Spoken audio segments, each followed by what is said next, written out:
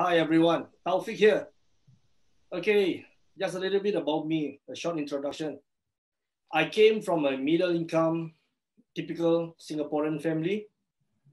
And rest assured, I am here.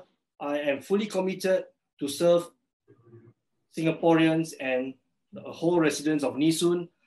I am here to serve all of you wholeheartedly, and I am very passionate to do my best to serve all of you. Okay, why, why I joined PSP? Simple reason, because I believe in serving Singaporeans.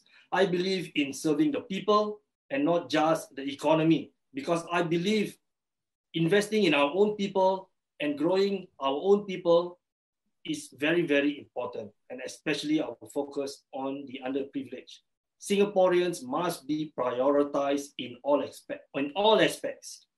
Maybe just to share uh, a little bit, back then, uh, I almost almost wanted to withdraw my my membership to PSP.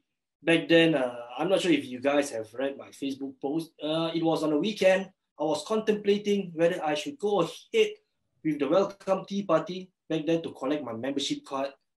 So I was thinking whether I am, is this the right thing for me to do? Deep in my heart, you know, I feel like, you know, I have to do this. I have to do the right thing. This is the only right thing for me to do. And I believe that PSP is the best platform for me to do this job, to serve Singaporeans.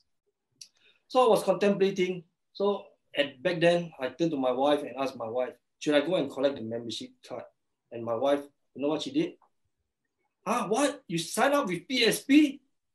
So I was being scolded left, right, and center. And she and she asked me, why am I doing this? Is it worthwhile? What difference can I make?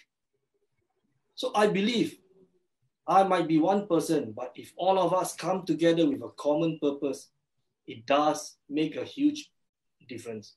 And Progress Singapore Party, PSP, provides the most meaningful platform for me to do this work. So, cut, cutting short, here I am now. I am one of your candidates representing for Soon GRC. Please vote for me. Vote for PSP. Thank you very much.